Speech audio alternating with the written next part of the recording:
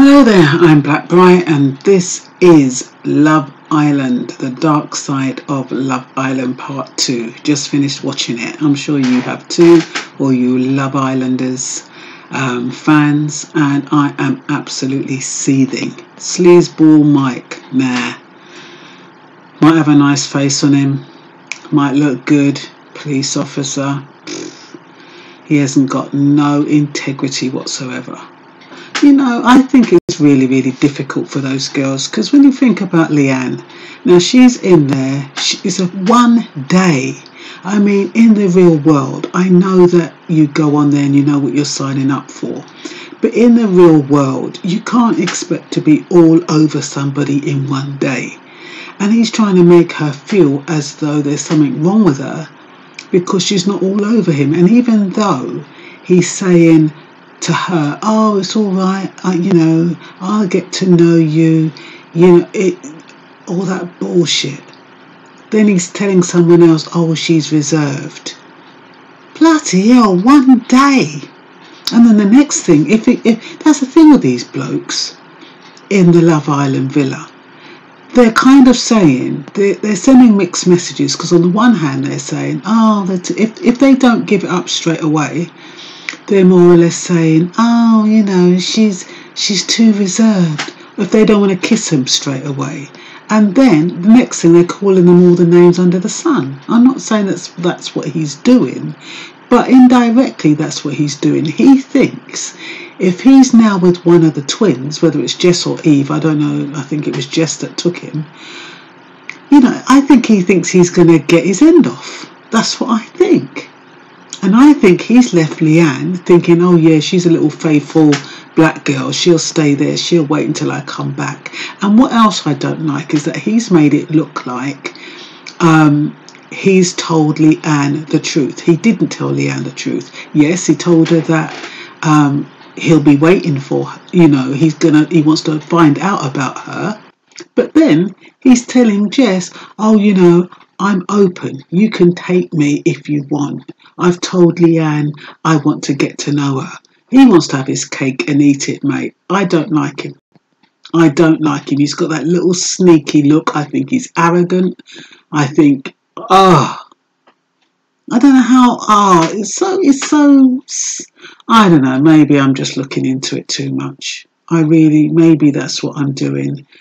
But I just think, you know, at least be upfront. If even if he'd said to Leanne, look, you know, that girl kissed me twice. Um, I have told her I am open.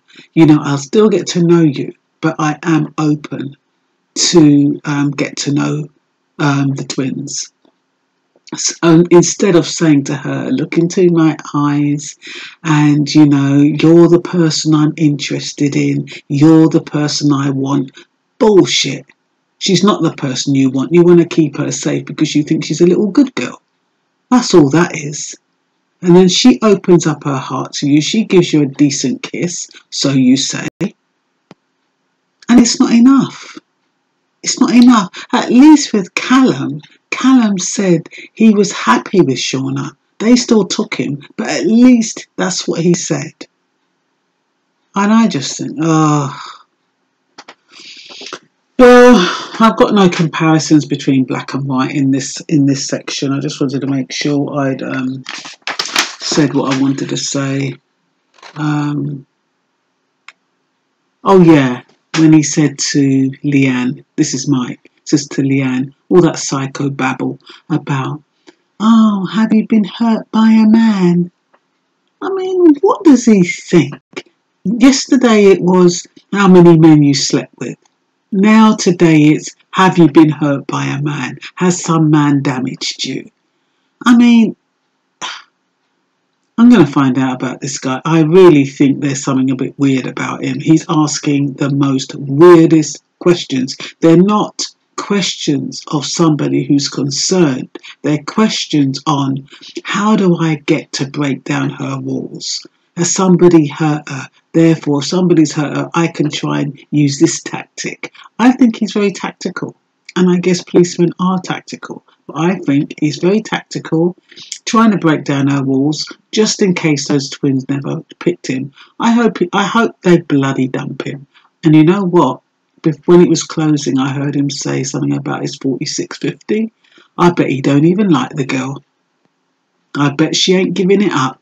And I bet he gets bored and then he's going to want to sneak back to Leanne. But you know what? The twins are going to tell her what, because you know what's going to happen? She's going to tell the twins, this is what I foresee. She's going to tell the twins, why did you take Mike when you knew that we were trying to work it out? And they're going to say, oh, well, Mike said to us, oh, you know, uh, I'm open for a relationship. I'm open to um, get to know you. I don't mind if you choose me.